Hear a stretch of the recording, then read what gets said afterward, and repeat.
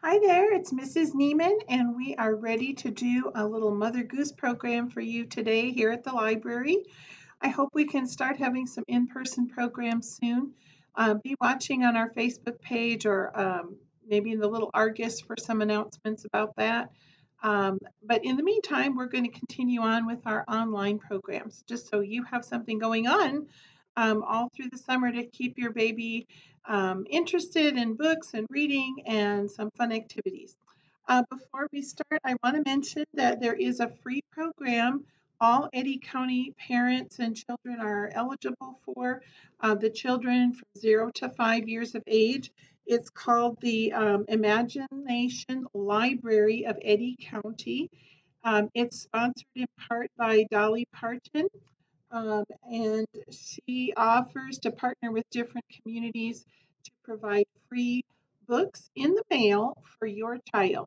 So if you have a child from age zero to five, and I think the program ends when they turn five.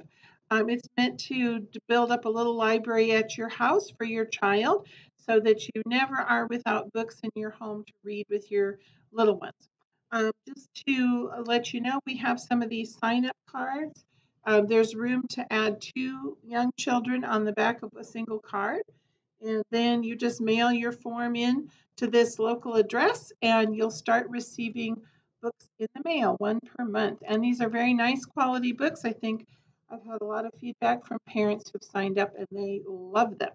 I think that it's a really great program. So I hope you can take part in that. So let's get started. Um, we're going to do our first little rhymes together. I uh, usually say the rhymes two times so you can listen along the first time and repeat after me the second time. Repeat it along with me if you don't know the rhyme already. If you do know it already, just say it both times. We are going to also use um, a little scarf and a shaker today. I have some scarf and shaker packs at the library if you'd like to pick one up. No charge, just come and get one. All right, so let's get started. Old Mother Goose, when she used to wander, would fly through the air on a very fine gander. Old Mother Goose, when she used to wander, would fly through the air on a very fine gander. Let's bounce. Goosey, goosey gander, where do you wander? Upstairs and downstairs, and in my lady's chamber. Goosey, goosey gander, where do you wander? Upstairs and downstairs, and in my lady's chamber. All right, I'm going to put little goose back down there. Next, let's do a little song together. Can you guess what song? Did you guess Twinkle Twinkle? If you did, you're right. Twinkle, twinkle, little star, how I wonder what you are. Above the world so high, like a diamond in the sky. Twinkle, twinkle, little star, how I wonder what you are. Very good. All right. I've got a little puppet to share with you. It's our little mouse who runs up the clock. Yes, hickory dickory dock. Let's do it together. Hickory dickory dock. The mouse ran up the clock. The clock struck one bong, and down he did run. Hickory dickory dock. Let's do it again. Hickory dickory dock. The mouse ran up the clock. The clock struck one. The mouse ran down. Hickory dickory dock. Squeak, squeak. All right. Now I'm going to share a little board book with you. This one is based on a favorite fairy tale, Cinderella, and it is set in uh, Spain, I believe, is the setting for this one. So, so this is a cool little series called Once Upon a World, and each of the fairy tales takes place in a different setting. So it's kind of fun to see the different illustrations. Once upon a time, there was a girl who lived in a little cottage with her stepmother and two stepsisters. The girl was kind and caring, and she had a good heart. Oh, but her stepmother was cruel. She made the girl sweep the floors and clean the fireplace like a servant, and every day the girl became dirtier from all of the chores she was doing. She just never got a rest because she was always covered in dust from the floors and cinder from the fireplaces. Her wicked stepsisters called her Cinderella. One day, while Cinderella was scrubbing the walls, there was a knock at the door. Knock, knock, knock. It was the king's messenger. Cinderella listened in to the conversation. The messenger said, There will be a grand ball at the palace, and all the ladies of the kingdom are invited. Cinderella's stepmother went straight to the marketplace and she bought the most beautiful fabrics and ribbons and jewels that she could find. Here, Cinderella, she said when she returned. Now you will sew us three fabulous dresses to go to the ball. Cinderella spent all day and all night sewing the dresses. Finally, as the sun began to rise, she finished. Her stepsisters marveled at their beautiful gowns. Cinderella wished she could go to the ball with them, but she knew her stepmother would never allow it. So she got back to her chores no party for Cinderella. That night, Cinderella bid farewell to her stepmother and stepsisters as they left for the ball. When they had disappeared from view, poor Cinderella fell down in tears. Suddenly she heard a voice. My dear, what's all this crying? Cinderella wiped her eyes and she saw a kind looking woman who seemed to be floating she was shiny and sparkling and holding a wand. Who are you? Cinderella said. Well, I'm your fairy godmother, said the woman. Tell me what you wish for, my dear. I wish to go to the ball, said Cinderella. The fairy godmother smiled, and with a few flicks of her wand, things around them suddenly began to shine. Poof! A pumpkin became a beautiful coach. Poof! Three mice became horses and one more poof, the old farm dog became a handsome coachman. Finally, poof, Cinderella's tattered dress became a magnificent ball gown, and her old shoes became delicate slippers made of glass. As Cinderella stepped into the carriage, her fairy godmother said, This magic will wear off at midnight. You must return before then. And off the carriage went. When Cinderella arrived at the palace, everyone thought she was a beautiful princess from a faraway land. They all wanted to talk and dine and dance with her. Even Cinderella's own stepsisters.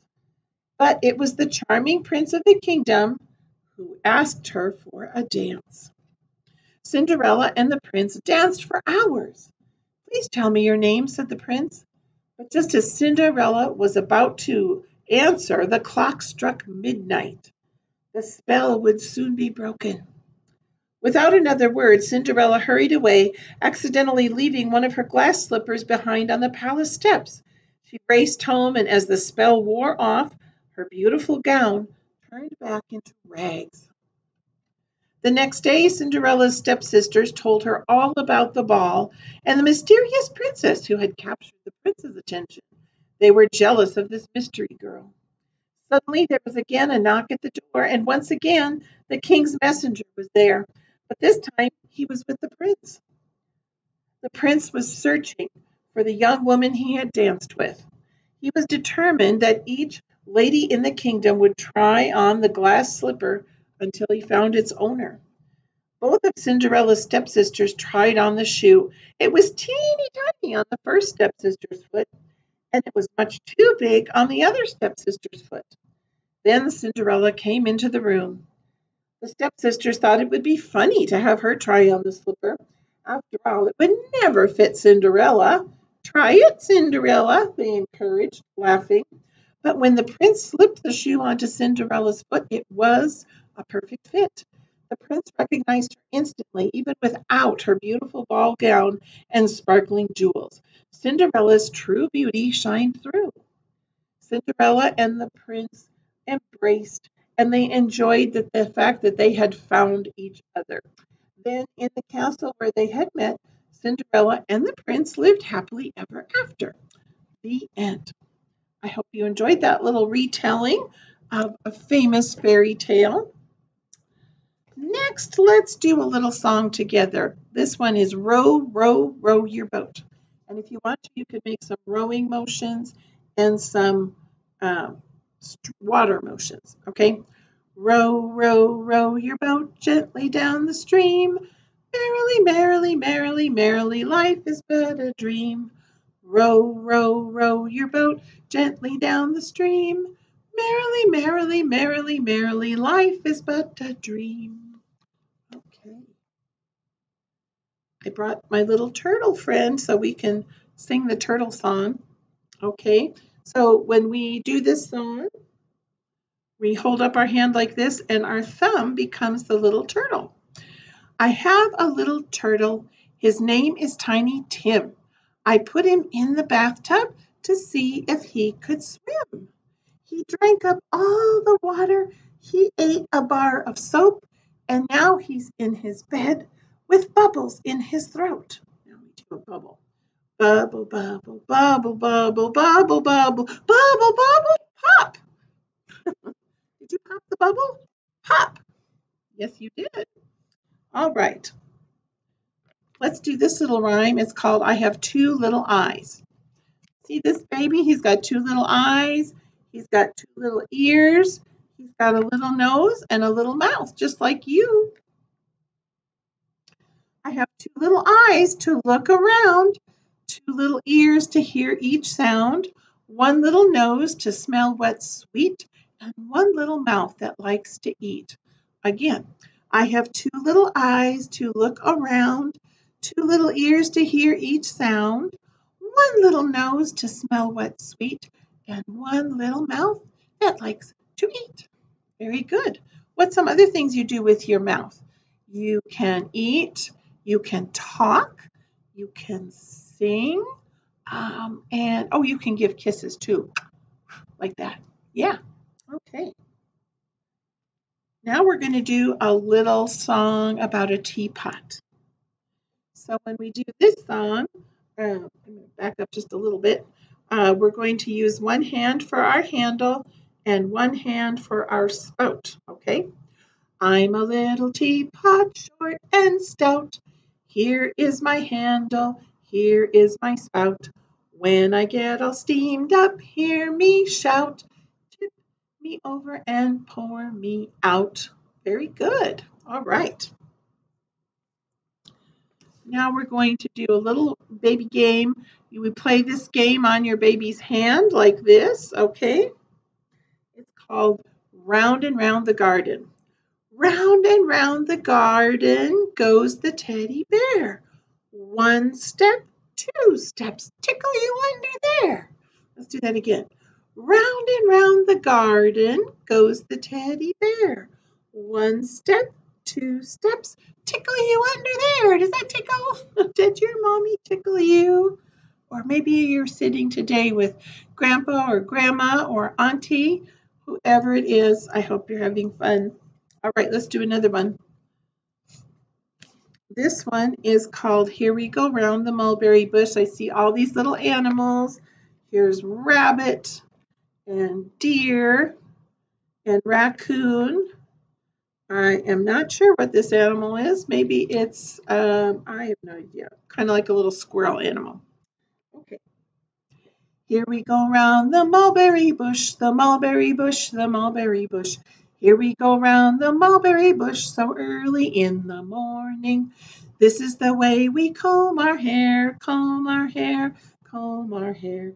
This is the way we comb our hair so early in the morning. This is the way we put on our clothes, put on our clothes, put on our clothes. This is the way we put on our clothes so early in the morning. This is the way we drink our juice, drink our juice, drink our juice. This is the way we drink our juice so early in the morning. This is the way we eat our food, eat our food, eat our food. This is the way we eat our food so early in the morning. This is the way we brush our teeth, brush our teeth, brush our teeth. This is the way we brush our teeth so early in the morning. Very good. Okay, let's do another one. We're going to do um, a couple of bouncy rhymes if you want to have your baby on your lap. So our first one is a little rhyme about bouncing with horsey. Mother and father and Uncle John went to town one by one. Mother fell off and father fell off, but Uncle John went on and on. Let's do that again. Mother and father and Uncle John went to town one by one. Mother fell off and father fell off, but Uncle John went on and on. okay, here's one called Bumping Up and Down in My Little Red Wagon. Bumping up and down in my little red wagon, bumping up and down in my little red wagon, bumping up and down in my little red wagon. Won't you be my darling? One wheel's off and the axle's broken. One wheel's off and the axle's broken. One wheel's off and the axle's broken. Won't you be my darling? Good. All right, one more. This one's called Uppity Up. You can see this dad is lifting his baby high in the air. Here we go uppity up. Here we go downity down. Here we go uppity up with the sweetest baby in town. Are you the sweetest baby? Hmm, let me take a look. I think you are. Here we go uppity up. Here we go downity down. Here we go uppity up with the sweetest baby in town. Yes. All right. Next, we're going to do something with our little drum. Usually in person when we do this, I let the babies have a turn tapping the drum too. We tap out names. My name is Mrs. Neiman. You can do this at home just by clapping out the syllables, the sounds in your name. So maybe your name is Sophia. Maybe it's Olivia.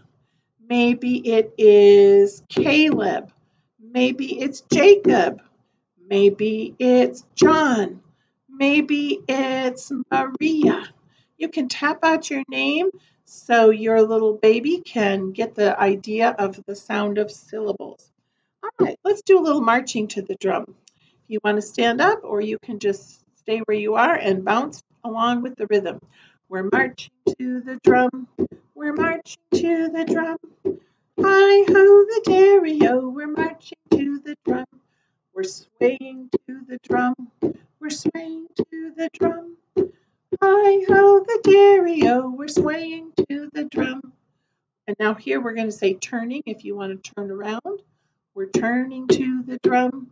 We're turning to the drum. Hi ho the dairy-o, we're turning to the drum. And now we're going to bounce. We're bouncing to the drum. We're bouncing to the drum. Hi ho the dairy-o, we're bouncing to the drum. The drum says stop. Can you say stop with me? One, two, three, stop. Good. All right, I'm going to put that down. And we're going to read another book. This is a short book about Maisy the mouse and about her first colors. Look at all those bright colors. This is the color red. Maisy likes red apples, so juicy and good. One, two, three, four apples. Look at this color. It's beautiful orange. And what kind of animal do we have here? A little duck. A basket full of oranges, Tallulah's favorite food. Let's count those oranges. One, two, three, four in a basket. What's the next color? Yellow. Charley's picked bananas, a big yellow bunch. How many does he have? One, two, three, and four. What kind of an animal is Charley? Charley is an alligator or a crocodile. What color is this? This is green. Green pears for Cyril. Munch, munch, munch. One, two, three, four. What kind of animal is Cyril? He's a squirrel. What color do we have here? Blue. A yummy blue ice pop is Eddie's special treat. He's only got one there. What kind of an animal is Eddie? He's an elephant. Come on, everybody. It's a picnic, so let's eat. Let's review these colors. Blue, green, yellow, orange, and red. Those are the colors we learned. We have some more books about Maisy at the library if you want to read them. Now you might have noticed when I was reading, I was ask, ask, adding a few things that weren't there. We were counting. And I also asked what kind of animals we were looking at. This is because we should, when we're reading to kids, we should get in the habit of asking questions. So it's not a passive activity, but your baby or toddler is also pointing to things or noticing things in the pictures. And even when you're not reading, you could be doing this. You can ask the babies to point to things as you're going through the grocery store, or you can talk about the weather or notice different animals when you go out on your walks. So there's lots of ways to add some extra vocabulary to your baby's day. And this is terrific help for them when they're getting ready to go to school in a few years. All right, let's do a little game. I have a rubber duck here, and I have a little game that I want to play. It's called When Ducks Get Up in the Morning. Now, there might not be a duck in here, but we do have some animals in here. Let's see who we've got. I got a puppy dog here, cute Dalmatian. Hi, puppy dog. When dogs get up in the morning, they always say good day. When dogs get up in the morning, they always say good day. Woof, woof, woof. When dogs get up in the morning, they always say good day. Woof, woof, woof. Okay, let's see what else we have in that bag. Oh boy, I see another animal in here. Who is it? It's Curious George. What kind of an animal is Curious George? Curious George is a little monkey. When monkeys get up in the morning, they always say good day. When monkeys get up in the morning, they always say good day. Ooh, ooh, ooh, ah, ah, ah. When monkeys get up in the morning, they always say good day. All right. I think I have one more animal. Let's see. Oh my goodness, it's a dolphin. What does a dolphin say? Maybe the dolphin could say splash, splash, splash. When dolphins get up in the morning, they always say good day. When dolphins get up in the morning, they always say good day. Splash, splash, splash. When dolphins get up in the morning, they always say good day. You see that dolphin? All right. Next, we want to do something with some music again here. So if you have a shaker at home, like this, we'll use it. If you have something else that's different, that's fine. Any kind of little rattle or noise maker will do. And I'm just going to use the word eggs because this is an egg-shaped shaker. We shake our eggs together, we shake our eggs together, we shake our eggs together because it's fun to do. We shake our eggs together, we shake our eggs together, we shake our eggs together because it's fun to do. I'm going to take a little sip here.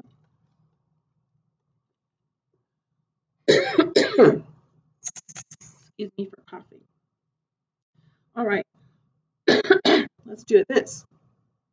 Shake them up high, shake them down low, shake them in the middle. Shake them up high, shake them down low. shake them in the middle.